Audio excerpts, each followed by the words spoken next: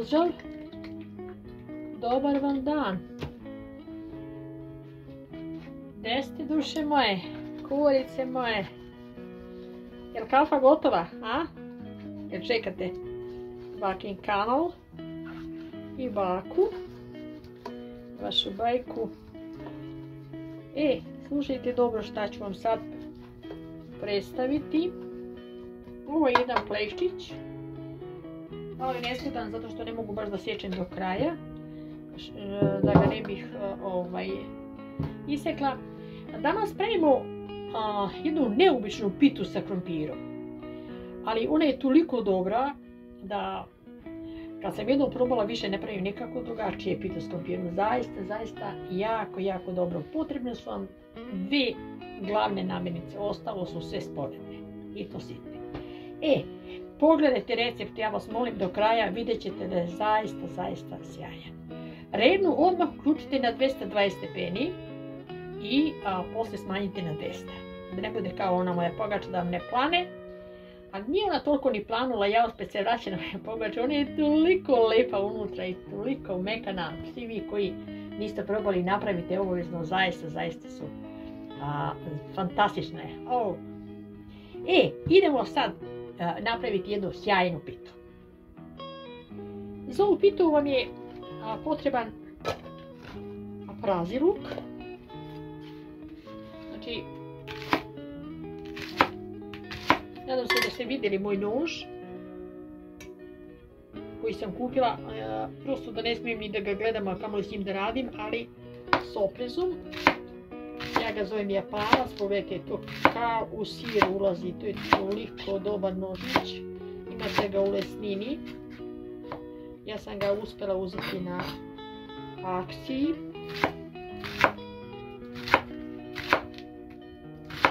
Znači, prazilu sečemo.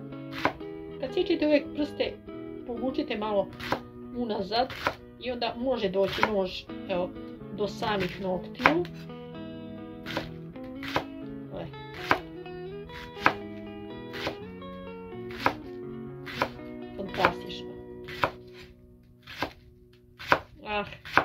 Oslobodila sam se tu noževa. Ovaj nož se zove nož za šefa kuhinje.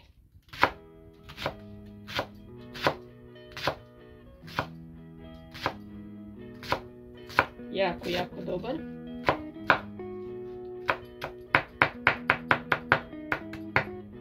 To se ne kupuje svaki dan. Znači kupiš ga jednom i ovaj, imaš. Rekli smo jedan prazi luk.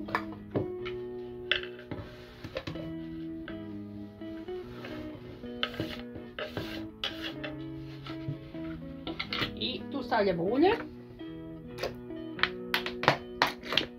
I do 30 ml. Idemo to da omeknemo, to se jako brzo omekne, znači za nekih 2-3 minuta poklopljeno luk je mekan. Dok nam se prži luk,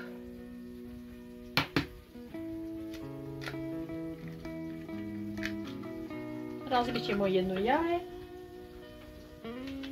dodat ćemo jedno pola praška za pecivo, jaje smo razbili, dodamo nekih 200 ml od 150 do 200 jogurta i malo ulja.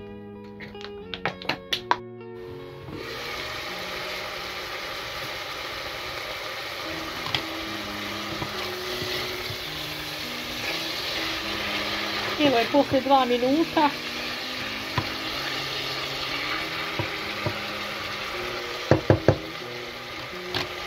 Ubacujemo jedno 500 do 600 krumpira, 500 do 600 grama krumpira seckanog.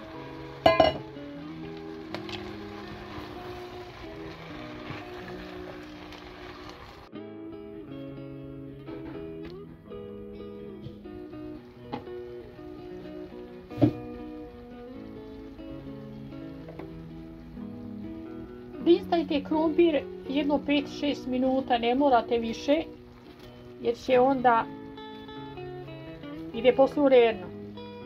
3 čena beloga luka Isjeckajte pred kraj.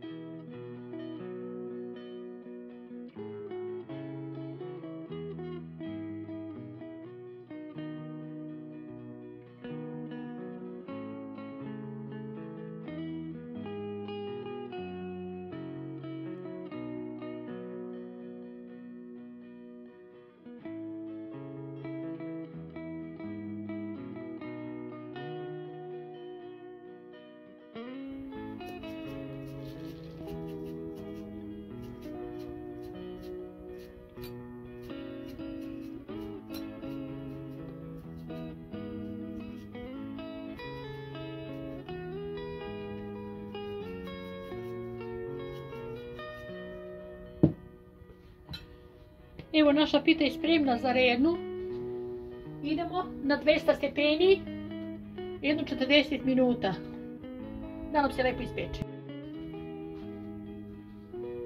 50 minuta, znači 50 minuta na 200 stepeni. E, sad će malo da odmori pa ćemo isteći, nadam se da ćemo moći. Ovo kubajagi se ne lepi pa ćemo da vidimo. Dragi moji, evo naše pite u, u tanjiru, znači pita sa krompirom.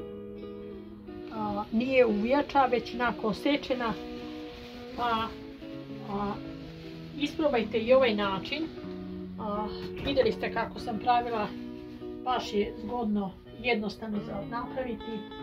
Nije teško, ništa, ovaj, ništa komplikovano.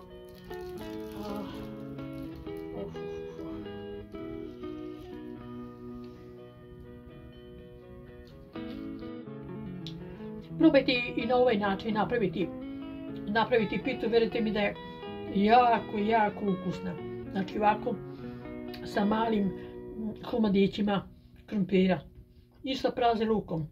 On je poseban koji daje kvalitet i fantastičan ukus ove piti. Ovo vam bar nije ništa skupo, pola kilograma do 600 grama krompira i jedan prazi luk. A to je sve što vam je potrebno. E sad, a sve ovo ostalo su nijanse.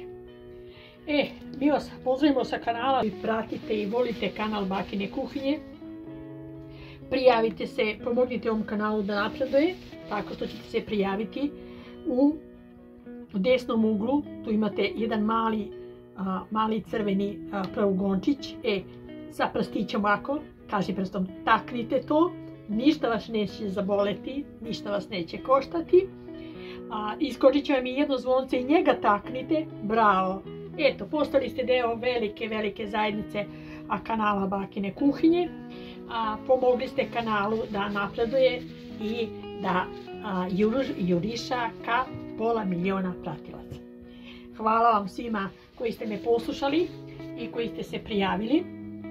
Vidim da mnogo, mnogo vas se prijavilo, pa e, zaista, zaista vam se duboko zahvaljujemo. A pita je fantastična, zaista je fantastična. Probajte. Vrhunska je. Evo. Vide se komadići a, to krompira. A, za danas vam ništa nije potrebno. Eto, napravite tu pitu pa možete to i, ovaj, i, za ručak jednostavno a, se slatko naklopati. Ljubim vas. A živi meni bili, ostavite nam neki komentar i šaljite nam neki lajkić. Dobro će nam doći.